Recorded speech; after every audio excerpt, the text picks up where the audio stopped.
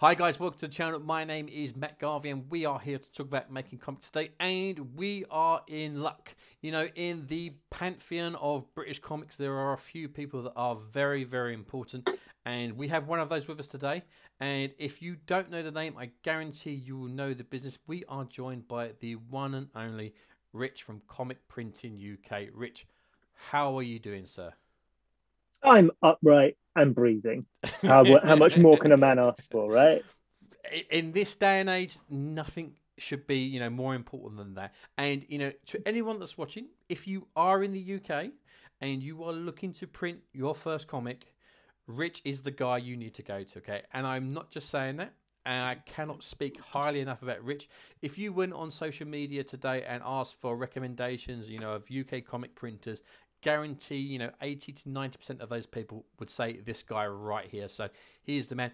All his details, you know, for his Twitter, through, you know, his website, that kind of thing, so you can get hold of Rich, are going to be in the bottom. But Rich is here with us today because we are going to be talking about printing your first comic. So, Rich, if I was coming to you and saying, look, I've done my first comic, I've, you know, I've got the art, the colors, the letters, how and how does someone get hold of you? I mean, you know, is it first, you know, just an email introduction? Do they contact you on Twitter? How does someone, you know, get you to help them? Basically, yeah, sure. Yeah, uh, I mean, on the website there's there's a form that uh, you know, much like any kind of contact form, uh, but with a few extra questions, which generally, if you can answer all of them, I can give you a quote, and I can also kind of work out how to put this, how much work you're going to be. Because that's one of the okay. good things about Rich is if you have never printed a comic before, this guy will literally hold your hand through the whole process. You know, time permitting and stuff like that. Yeah. You know, like because this again, this is one of the reasons why Rich is absolutely fantastic. What he does is when you say how much work you're going to be, if you could explain that in a little bit more detail, that would be fantastic. Well, someone who knows the jargon, who you know writes uh, a, a quote request and uh, you know starts using print jargon at me, I am pretty sure that they've they've done it before. Uh, that they at least know the rudiments of what they need to do. They might have some bad habits that they've picked up from working with other printers, but generally speaking, they're going to be less work than somebody who comes along and um, and you know can't doesn't distinguish between pages and sides, for example. Now, that's the, page and side can mean the same thing depending on like if you if you're just doing if you're just chatting amongst your friends then yeah that would mean this that, that could very easily mean the same thing. But if you know printing then you know that a side is what i'm interested in and a page isn't really of any interest to me whatsoever. Um, but i'm going to call it a page. So yeah it's I can I can work out. I mean, I've been doing this now ten years. I can work out from that first contact. You know, if someone puts in so there's a there's a box there for how many pages are there in your comic, and when you click on it, a little hover up comes on and says this has to be divisible by four because that's how physics works. And if someone's put in something that's divisible by three or divisible by two, you're going to have an issue. Comic pun intended yeah yeah you you know that that person is going to need a little bit more uh walking through. Everyone needs some walking through but it's about it's about pitching. It's like am i going to pitch? If i'm helping you out matt then then you obviously you're a, a, a, an established creator who has been you know through several rodeo rodeos of, of printing um you know experienced issues also seen what it's like to uh, have something go flawlessly. So if I'm helping you out, then I'm going to be offering you advice like on this level. If I'm helping somebody that you've put in touch who is doing their first comic ever, then it's going to be down at this level, and that's and that's fine. Like it's you know we were talking before um, we started, we were talking about our kids, and like I wouldn't talk to my kids in the same register as I talk to you because you gotta you gotta pitch appropriate for the audience, right? Yeah. So like, basically, you're saying you have to dumb it down when you're speaking to me. Now I get that. You know, yeah, absolutely. I'm, I'm, and when I speak to Kid Puck, she's she's you know she knows she's well up there. Like um, yeah, no, it's you know I can tell from from that uh, that contact form. People will also you know drop in on Twitter. You know, I've got a bit of a persona on Twitter, which I swear hilarious I'm not persona, hilarious persona. Yeah, I mean, it starts. It started as hilarious. I think he's a bit bad tempered now, um, but but I'm I'm I mean, well, it's I, it's a bit like a pro wrestling sort of thing. He that, that that's me, but amped up to twelve. We we all have online Twitter personas. Like who I am on mm. Twitter is who I am, but it's not really who I am. Mm. The hmm. ego and stuff like that. And if people know me, they know that there's a little bit of that in me, but I'm not I'm not the, the massive cheerleader for myself that I pretend to be. Or, or it would be exhausting if we were if we were our online selves all the time. I, I certainly couldn't do it. Um, but yeah, so people will. Uh, the the point is that the Twitter is meant to be vaguely approachable. It's meant to be a thing of you know you interact a couple of times and then you can ask a question and I will always answer it and I might take the mic, but you know I'm I, I'll do it gently. Um, and then yeah, you know I mean so primary primary modes of contact are the the web form and and the Twitter. People will occasionally try and call me, and I'm 36. I'm a millennial. You know how we feel about phones, but like if you keep ringing, then yeah, I'll pick up. But like, um, okay, rather that's, not. That's cool. That's cool. So you know, absolute beginners always welcome. And obviously, this again, this is the great thing about Rich is uh, when I say hand holded, I'm not saying that in a patronising ways because when you first print your first comic, it's it's daunting. You know, it is squeaky. So many things can go wrong. Yeah, it's. It, I mean, even now I get it. You know, say I've been printing my comics for like five or six years, and even when I get that first box back from the printer and mm. and I open it, you know, there's yeah. The heart, you know, is going absolutely crazy because you, think, yeah did I do everything right? And that's the great thing about you know uh, the personal touch that someone like Rich gives you. I'm doing just a massive advert for you, Ness. It's brilliant. Uh, yeah. Is that we, we, like again it. we discussed this before that you you touch every single side or page that that, that comes through and you, you check it to make sure that you know stuff like the bleeds you know the the order and stuff like that it's all immaculate so the chances of something everything going wrong are slim to none yeah, I mean, things do go wrong because it's a mass production process. Uh, we always fix them. Uh, you know, without with you know no quibbles. Like if it's something that I've or that that, that has been messed up at this end, then then I will fix that. If it's something that was messed up at your end, then generally speaking, I will have tried to steer steer you away from doing it in the first place. Uh, but yeah, every file goes through me uh, because I don't like being shouted at, but I believe that you have the right to have someone to shout at if something goes wrong. And I'd rather that you shouted at me than at somebody I'm responsible for, if you see what I mean. So, um, yeah, so part of the reason that it all goes through me is because I hate being shouted at so much that I will put in the extra effort to make sure that you don't do it. Absolutely fine. So, I've I am an absolute beginner. I, have come to you. I've mm-hmm. contacted you through the website. Uh, I've said, you know, Rich, you know, either my comic is ready or it's going to be ready in X amount of time.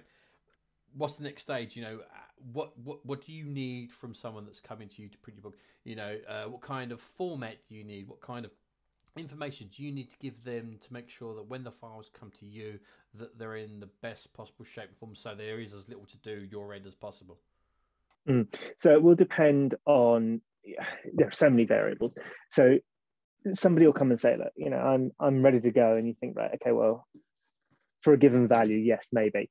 Um, and generally, what I will do is I'll send back a quote.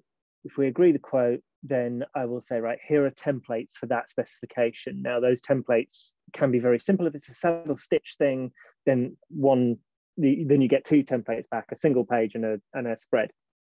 Um, uh, if it's a perfect bind, then you'll get back a uh, single or a single left hand, a single right hand page, and a cover template, and they will all be specifically tied to the specification that we've agreed. So if you start changing that, the spine width's going to change, and don't change it after we've agreed it, basically.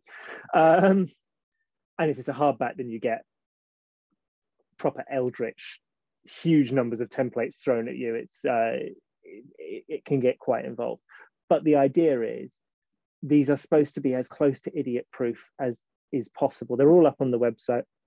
They're mainly compatible with other printers as well. So that's just a kind of sort of free resource for anybody who so if someone's because... over in the states and not able to, you know, use your, yeah. you know, because the, let's be honest, the shipping to other countries at the moment is just yeah. absolutely crazy. So you, there are resources on Rich's website. So if you are in the states or Australia or stuff like that, and you know you need to templates, they are all there free of charge from Rich. So you know, hmm. give him a high five and a follow on Twitter for that.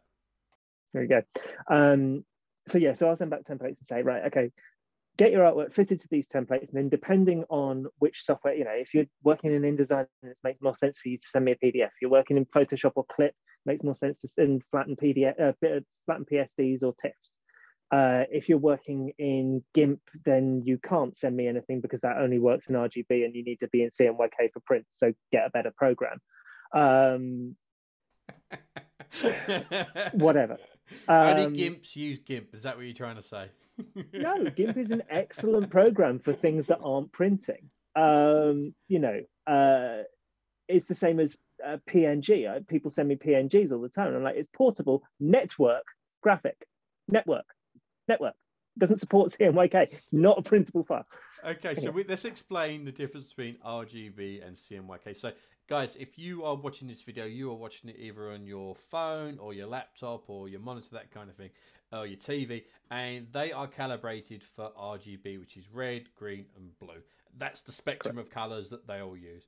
When you print something it's printed differently. It's printed in what's called cmyk which is cyan magenta yellow and the k stands for black. So the color spectrum is different from what you will see on your screen. So if you are working in photoshop what you need to do is if you press Control and Y, it will change what you're looking from from RGB to CMYK so you can get a better understanding of what something looks like when it's printed because the worst thing to do is like you'll have a nice bright red on your screen and then when you get get it hmm. printed it actually comes out orange and that's because red is one of the most annoying things to try and get right for printing. So that is the difference between RGB and CMYK I believe if I if I'm wrong Rich you know slap me down sir no, no, no, no. That's that's right. It's also it's it's the difference between an additive and a subtractive process. So when I've uh, when I've got a blank screen, uh, then the screen is black, and I start adding light in red, green, and blue channels, and, then I get to the color that I that I'm looking for. Um, so purple is made up of a uh, mixture of, of red, green, and blue. Nice. When I've got a blank sheet of paper, when I've got a blank sheet of paper, the blank sheet of paper is white. And I'm adding ink, which is subtracting light, subtractive process. So I'm adding ink to get to the same or as close to the same shade. Because one is adding light and one is taking light away, the gamut on RGB is much wider than on CMYK. So, for example, you can do neons on RGB because you're just adding more and more light no matter how much ink you chuck at uh, uh, or process ink, I should say, you can do funny things with spot colors, but no matter how much ink you chuck at a piece of, of white paper, it's always going to get darker. You can't, you know, if you're starting from pure white, anything you do to it is going to make it darker. It's just you'll make it less white, which is just how light works. Yeah. Yeah, it's just how just just that's just what light is. Um, so yeah, so, uh, so no PNG, what was? No PNG, RG, no, no RGB files.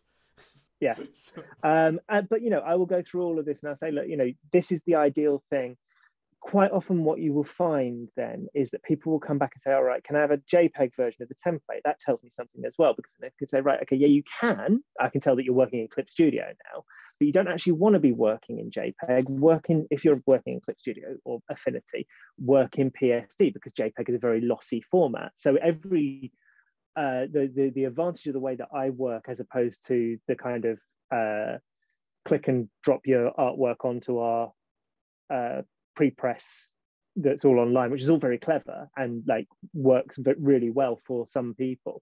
But the advantage the way that I work is that I'm asking you lots of annoying questions, but every time that you give me an answer, I'm getting another piece of information about what you need and how we're going to make sure that this comes out as well as possible. So yeah, so I will send across the templates and you come back, you say, oh, JPEG version. Okay, well, yes, but here it is. or come back and right i had to resize the templates don't resize the templates um, or my artwork doesn't quite fit to that or or or something like that in which case i know that you've got a bleeds problem Right, so let's explain the bleeds. I've, I've explained this on the channel before, and I try and explain it in the most rudimentary style ever, but it's probably best to, to get it from you. And the way I look at it is, you know, if you have a piece of paper, the bleed is basically an area on the outside of that image that's going to get cropped off by the printer and then inside that you've also got another area which is like the safe zone. Anything that you really mm-hmm. need to keep make sure that that is not in that zone because there is a chance that that may get lost or may get pushed into either you know the crease of the page or to the end of the page mm. but that's how i look at it. But if you could explain it in your way it probably make a lot more sense to people because i'm an idiot. Okay.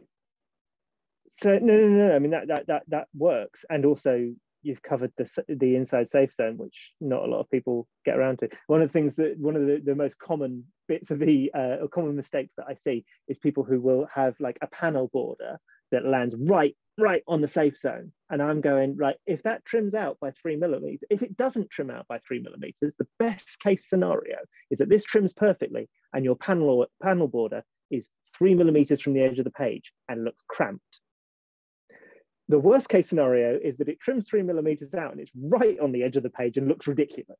Like, but people, it's one of the things that uh, you can tell when somebody's been working in the visual arts, not necessarily just comics, but the visual arts for a long time versus when they're slightly greener, is people who can use negative space and people who can say, there is a temptation when you're looking at it all on screen there is a temptation to be like i must fill the entire page. Every every inch of this page must have gorgeousness on it. And actually that's not necessarily the way it's going to look best in print you know. Uh, another one people will have two pages that are uh, that are facing when they're in print. And they're just so busy because they're only looking at one at a time and there's so much going on. They're not a joined spread, but like it's really hectic.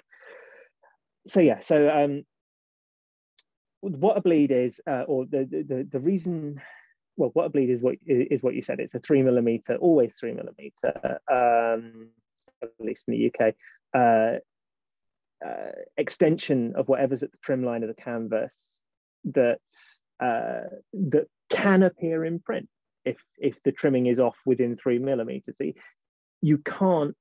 People will say, "Oh well, why can't you? Why why not simply trim perfectly every time?" It's like because it's going very very quickly, and there are, as with any mass production process, there is a there's a, a standard tolerance and we've got it down to we as an industry have got it down to three millimeters which actually is not too bad um, anything more than three millimeters and you should come back and say, look, this has been badly trimmed. But within three millimeters, the only way that you can get it more accurate than that is to have somebody leaning into the guillotine and moving the paper around as the you know as the Don't guillotine comes down, which you can way. only really do, do 10 times because then you've run out of fingers. Um, yeah, exactly. Uh, so you if you imagine I'm stacking up your pages, I've got a big stack of them like that, and then uh, the guillotine's coming down, it's got sort of a heavy weight going like that and shaving them all off. Now, if they move ever so slightly under the pressure of that, or if they didn't all butter perfectly, bear in mind they're going into that guillotine at about 13 miles an hour. They, they, they, if there's any kind of movement at all, then it's going to trim slightly off. That's why you need a bleed. Is um, and you know people will say, oh well, you know, just I I want to leave it blank. It doesn't require a bleed, and it's like, well, no, but it's going to look terrible, and it's it's harder for us to trim, or it's easier for, easier for us to trim perfectly if we know the bit that we're trying to miss. If you've just got a white border there, then then you're making things unnecessarily hard. Uh, Fair enough. Okay, so and then and then uh, it's gonna get it's gonna get screwed up, and then you're gonna shout at me. Like, but it's not your fault, and that, that, I think that's the big point that I'd, I'd like to raise in this video is, you know, if you've done exactly what Rich or your chosen printer has said, if you've done it the right way, because these guys are professionals in what they do, if it messes up, unless it's a, like a massive printing error, it's down to you, and that's I think that's important that the ownership is on you when you're printing your comic. As I said, you know, even like you know, after five years, when I when I print my comics, I still have that squeaky bum time when I get a box back because you hmm. still have that level of doubt that oh, did I do that bit properly? Did I do this bit properly? Is everything lined up? So you know, make sure you do everything that Rich says to make ensure that your your comic comes out immaculately because otherwise it's down to you. It's not down to Rich or down to your printer. It actually falls on you. So hmm. you need to take responsibility of that. So that's the bleed. That's the format. Let's talk about resolution. Now, yeah. When I I always get my artwork back from my artist collaborators at 600 DPI because I like it in the highest possible resolution because I want everything to look immaculate. From a printer's perspective, what is the minimum? What's the maximum? You know, where's the sweet spot? Where where do you need your files to to to be on that range? It's got to be 300. 300 is is print resolution, um, and then we'll rip it at a different resolution. But that, you don't need to worry about that. You need to worry about 300. Um, a lot of people will supply at 600 or think that they'll supply at 600. Did you know in InDesign, for example, uh, if you import a bunch of images in uh, 600 um, the and, and then export it using one of InDesign's built-in presets like high quality printing or, or pre-press or whatever. They, they've got built-in uh, PDF uh, 1XA is the is the classic. I, I, can never remember if it's 1XA or 1XA. Anyway, um, they've all got built-in presets. And if you go under, if you go and look in under compression on there, you'll see that anything over 450 DPI is automatically knocked down to 300. So you can supply me with 1200 if you like. And InDesign, as you're exporting it, will just go, well, that's ridiculous, and knock it down to 300. Yeah. So, uh, so what I tend to do is I've got my own presets, obviously for exporting, um, and I've uh, set them to 449 because okay. 450, as I say, is what InDesign. Uh, so I I save all of my artwork that's going into, uh, or I would save all of my artwork that's going in into in, into an InDesign document at 449, um, because that way, even no matter what um, uh, preset you're using to export, it's going to come out at 449. Like, and really, as I say, as long as it's over 300, makes no odds to me, makes no odds to any printer. But I understand the impetus to assume big number better, and it gives um, if it gives people a little bit of confidence, then then fine, just just do it as that. If it gives you confidence, do it at 600 and have it knocked down by InDesign by to, to 300. If it gives you confidence, it doesn't really matter. Uh, what what will often happen is that you'll get somebody who's like, oh yeah, here are my 600 DPI files. And you zoom in on them and you see they're full of fuzz particularly around lettering or lines, uh, you know, line art, full of, of it's called JPEG artifacting. Um, and you think, right, well, okay, those are very, very high resolution artifacts that will print and look really bad. So they're great resolution, but they're still there. And what what's happened there is that someone has saved it for web and then saved it as a promo and then saved it as a Facebook and then done it for this and that. And it's been saved a million times. And, and what you don't understand is that uh, every time that you make a change in Photoshop, you are doing a little bit of damage, or whichever program you're using, you're doing a little bit of damage to your artwork.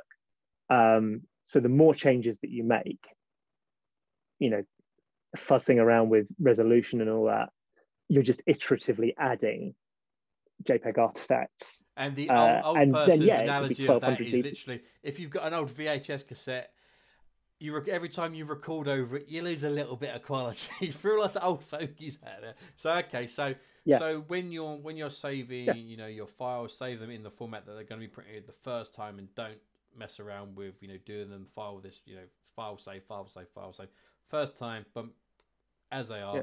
At least 300 DPI, or just version control yeah just version control just different folders like within you know so you, you have got your folder with, with, your all your comic pages saved and you've got a web version and you've got a print version and those two folders don't cross. And you know because the web version needs to be 72 dpi it doesn't matter you know it can be it can be very very low res. Just make sure that you're not using that you that you're not crossing files back between the two folders you know set up as a photo photoshop action if you have to yeah, yeah. what i do okay okay so that's that's formats that's bleeds that's that's resolution mm-hmm.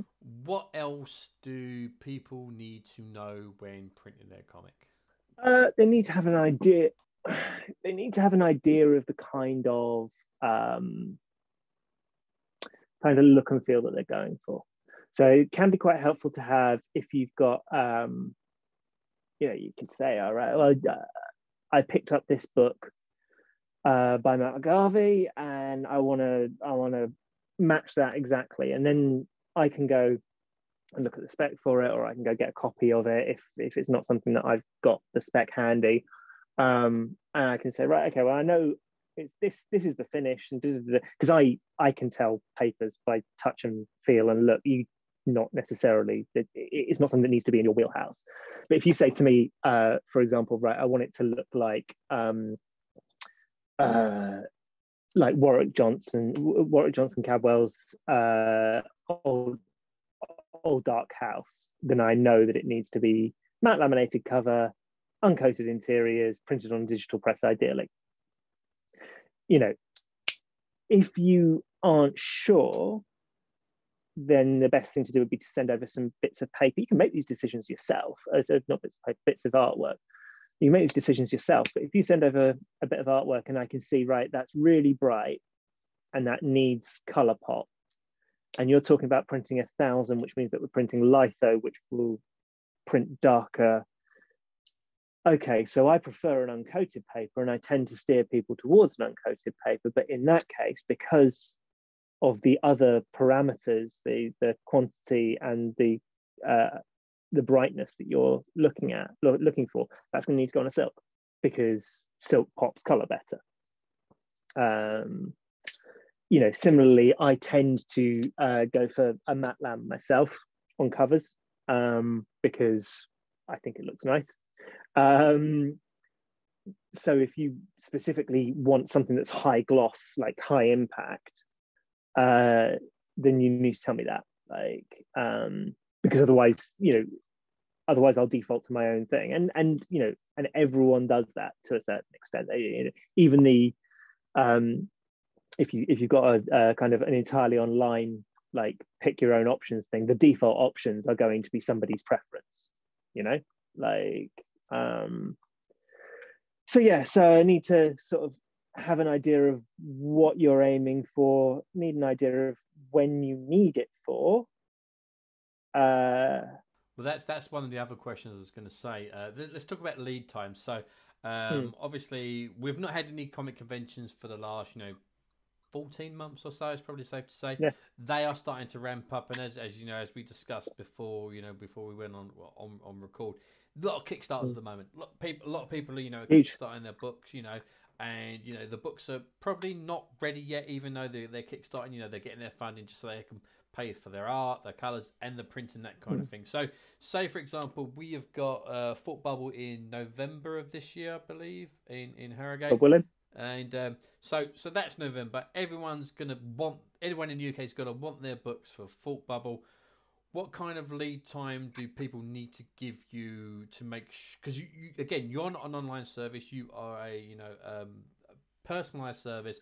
You touch every page that comes through. You know, th- there's going to be hundreds of people, you know, sending their books through you to print.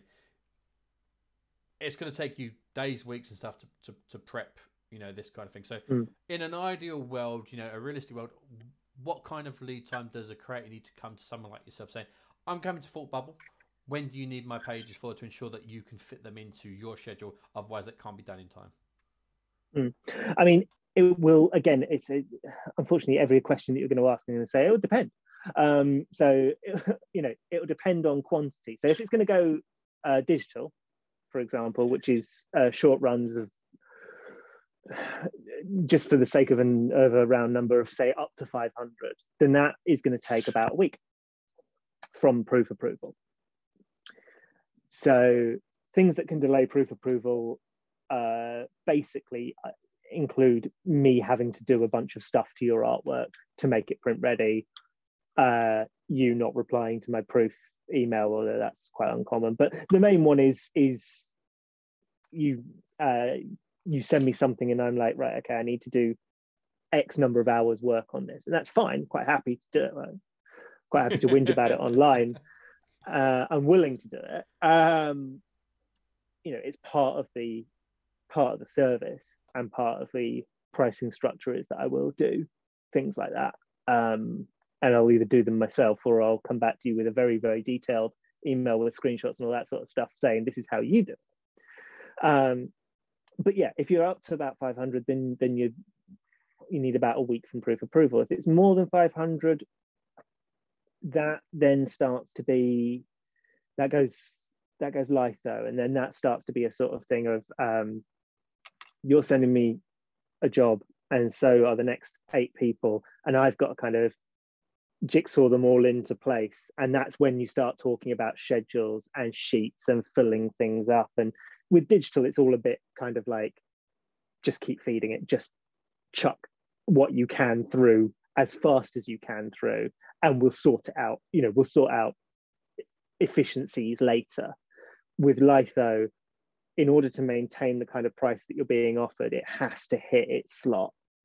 Um, and that might mean that you send me the artwork and I get your sign off for it and and I say right well, it's going to be two weeks and you say right that's fine two weeks is fine um and then I don't actually look at it again until 13 days or 12 days because then it only takes an hour to print it's just that it has to go into that hour slot otherwise it's not to otherwise I'm to lose money on the on the the job, um, which I don't like to do.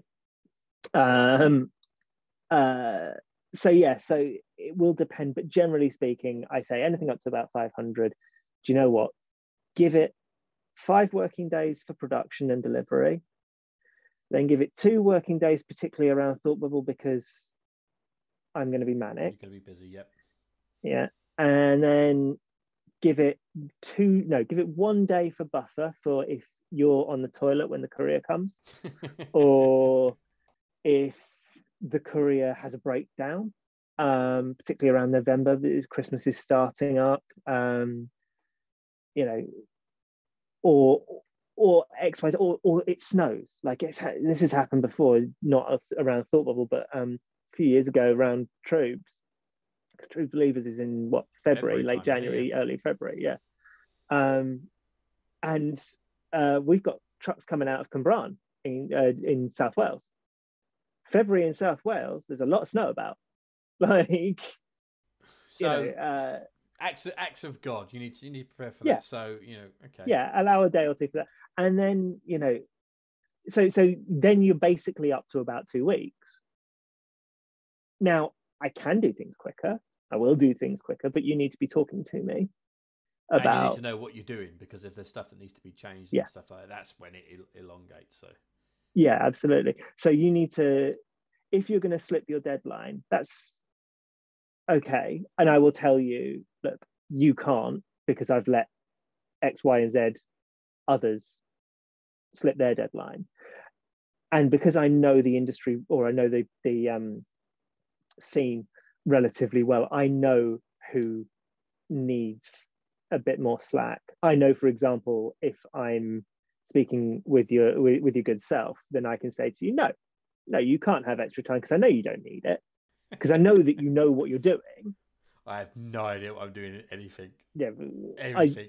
I, or uh, the Madius boys, um, you know, uh, Rob Jones and Mike Sambrook and and that and Alistair Wooden, uh, you know, they so if they're putting together, um, you know, a, a, a new a new book for Thought Bubble, I know that Rob Jones letters about 40% of UK's indie comics. I know he knows what files need to look like. So if he comes to me and says, Oh, Rich, uh, need a couple of extra days, then I'll say to him, Rob, do you need a couple of extra days because you've taken on too much work lettering?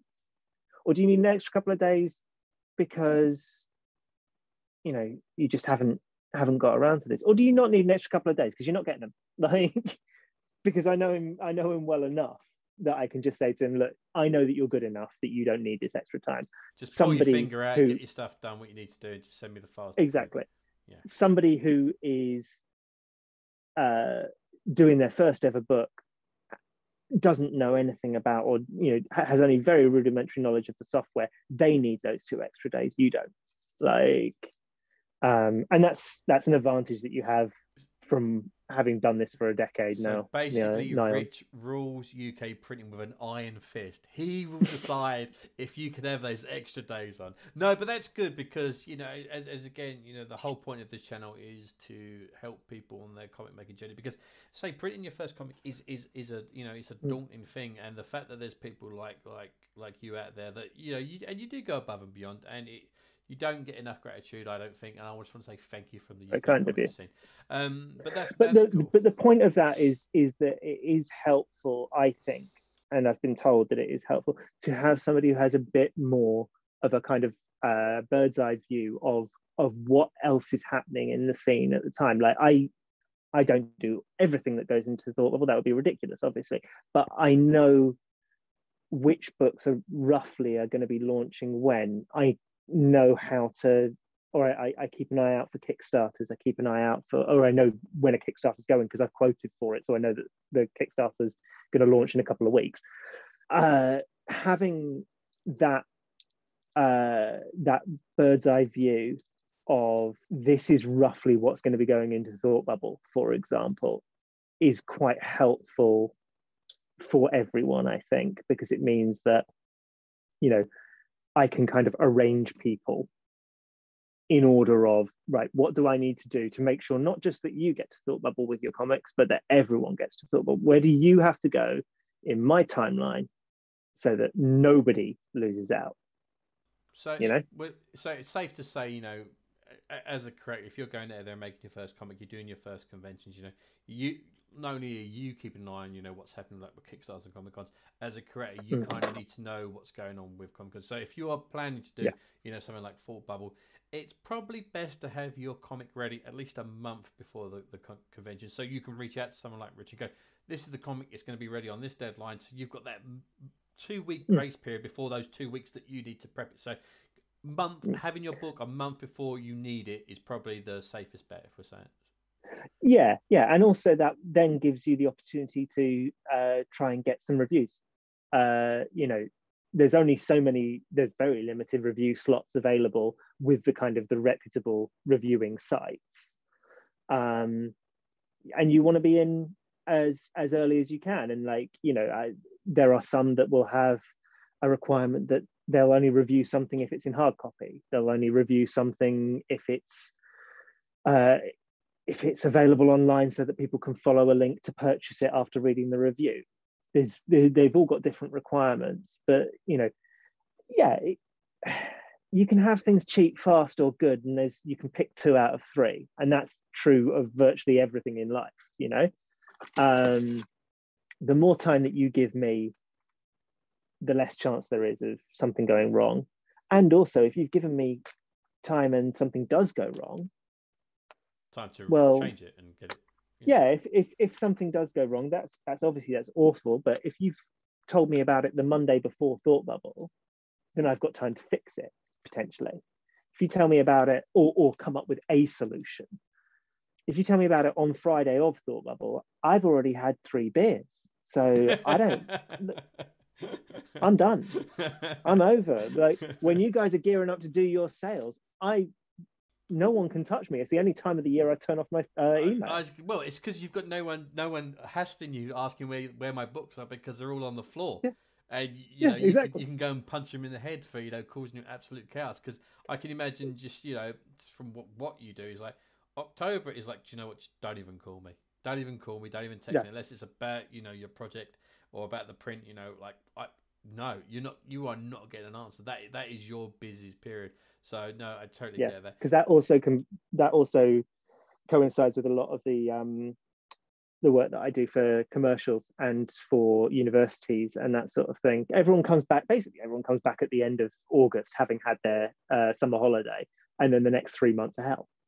Um, so you know, nobody does anything throughout July or August So if you want something, that's a good time to get something done. July, August, you can have Rich's attention 100%. So get your books yeah, ready now. absolutely. yeah, I, I got I, I got nothing done. Um, but yeah, uh, there's that's a hell ride for for three months from from September through to November. Um, such is life, you know. Bring on full Anyway, bubble. sorry, I'm- You missed it last year. Come on, let's be honest. But now that's cool. oh, Um, I did. Yeah. Then, so okay, so we've covered like you know uh, resolution, file formats, bleeds, all, all that kind of jazz. Uh, obviously, time leads that kind of thing of when books need to come out. Is there any other advice that you would give to someone that's printing their first comic for the first time, just from you know your expert knowledge about the subject?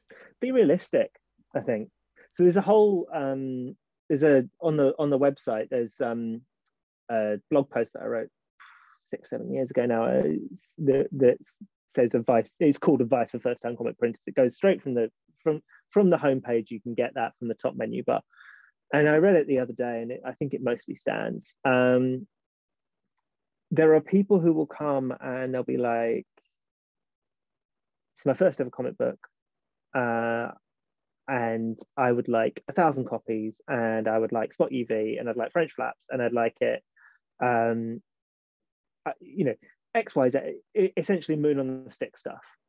And you think, right, okay, so even if even if we could get all of that, which we probably can't because you're probably coming too late because it's your first comic and you don't know what you're doing. But even if we could get all of that sorted, you're going to need to charge eight pounds, ten pounds for this for this uh, stapled floppy comic book, and no one's ever heard of you, and you're not. It's not going to happen. People people are not going to lay down that kind of money. Yeah, you've been on con floors. Like I, when I go to, uh, I only go to Thought Bubble these days with money or with with the intent of spending money, because you can quite easily just walking around a thought bubble come out 500 pounds lighter just on one On one circuit. one thing Yeah, yeah. people have to start being or people, people sorry go on. No, no, I was going to say because especially at Thought Bubble because it's uh, bloody hell giving Thought Bubble an advertisement. They should really sponsor the channel.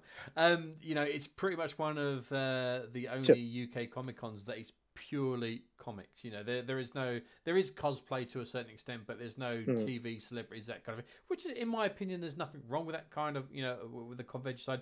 But you know, Thought Bubble is is literally just comics, and as you said, like you can walk around like one circuit and just empty your pockets, and that's you done for the next two days. You've got no more money to spend because you've got it all in there, Mm. and it, it, it's hard. I mean, that's why I never leave my table because I don't want to spend any money.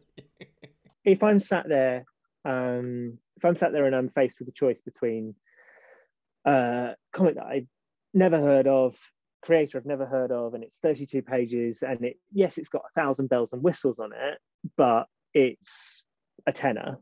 And then next to them is somebody who i do know who's got a little a5 book uh you know two, uh, or 120 page book complete arc of a story and that's also oh that's 12 pounds 12 pounds for a complete arc of story sounds better than 10 pounds for shiny version of you know introduction to story you know? And uh, you'd be better off in that case. If you're the the creator you'd be better off saying right okay well this is this is the first chapter in my in my story. It's 32 pages. I want to make it so it looks pro make it so it looks good but it doesn't need a lenticular cover like it's not a collect i'm not making collector's editions here. Like so yeah so you got to be realistic about you know and that that that goes for everything. It's a similar sort of thing to um, when you're deciding how many to order. There's no point if you've set up a pre-order or you set up a kickstarter and you've sold 200 copies there's no there's no point ordering 10,000 units. Because yeah all right the price per unit is super low but you're not going to sell them all and especially when it comes to, I mean, again, this is this is something that uh, I've learned because again, I will be looking at the Kickstarter route in uh, a couple of months' time with one of my comics because I did it before and failed miserably. Um, but I, you know, do my comics, I pay for them myself. I pay for the printing myself, and that's why I hustle so much because I know I've invested my own cash, so I need to sell every single one. And some of my buddies that have done Kickstarters, you know, I'll see them at some conventions and I'll go, "How's it going? You know, how are the sales going?" And they go, "Sold hardly anything." And I always say, But why? You know, your mm. Kickstarter running goes. The Kickstarter not ruined it for me, but like everyone that's at Thought Bubble back the Kickstarter, so they're not going to buy the same book again. Yeah. So you know. Yeah, so exactly. Can't can't sell that twice.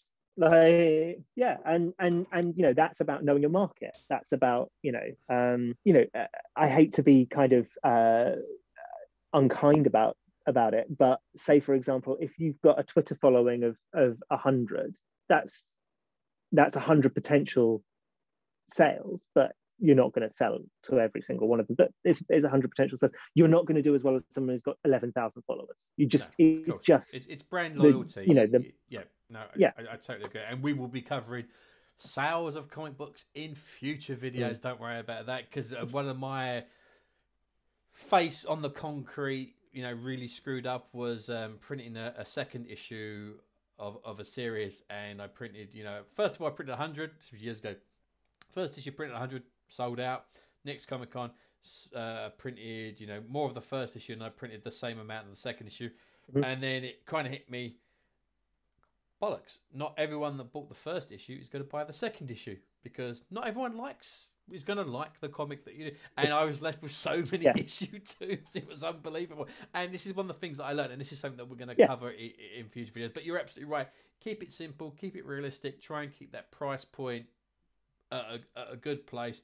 And as long as the quality of the printing is there, you know, that's abs- absolutely mm. going to help help you move your book. So, but it's also about your own self esteem. It's a thing of, you know, if you blow through if if if you've got 100 copies of issue one and you sell 100 copies of issue one then you feel like you're 10 feet tall.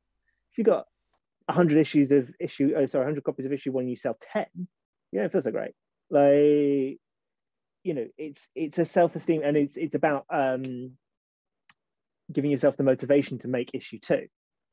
You know it's very hard to pick yourself up from uh to pick yourself up and say right i'm going to i'm going to move on to my next issue if you've still got boxes and boxes of it of, of the first issue clogging up your hallway it's much easier to feel motivated if you have if if, it, if it's gone well you know it's, it's just common, I, that's, I that's think this sense. comes down like, to, to salesmanship though because uh, I do not consider my comics to be better than anybody else's on the comic vlog. Never have, never will. Everyone is equal. We're all making comics. We're all living the dream, that kind of thing.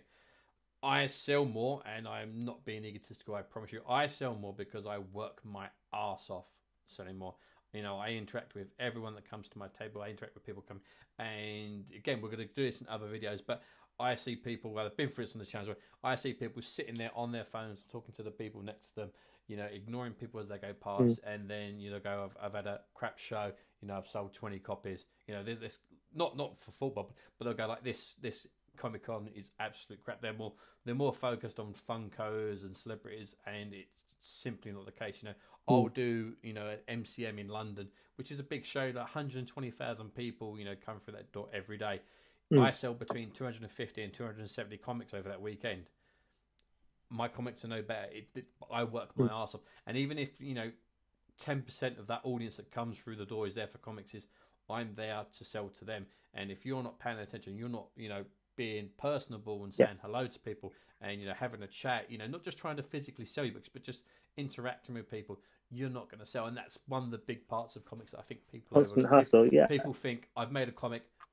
There you go, guys. Knock yourselves out, and then as you said, they'll sell 10 copies and they feel really deflated that no one likes their book. And it's not that no one likes the book, it's no one's seen the book. You can't rely on a couple of well placed reviews and you know your 100 Twitter followers to to build your build your following it you you kind of have to wait it's like this channel you know the channel started with zero subscribers we're up to you know 600 700 now that didn't happen overnight it's taken mm. nine months of me grinding every week for 50 weeks to try and get this this channel to where it is you know and, and comics is exactly the same and i think people people like the comic side of comics, but they don't realize it's actually the comic business. There is a business side, and when you start making your own hmm. comics, mm. you in fact becoming your own business owner. Exactly the same as you with regards to like the printing side. That's yeah. your business. Yes, it's comics, and comics are fun, and everyone loves a comic, but at the end of the day, there, there is a money aspect to it, and you know, God bless capitalism.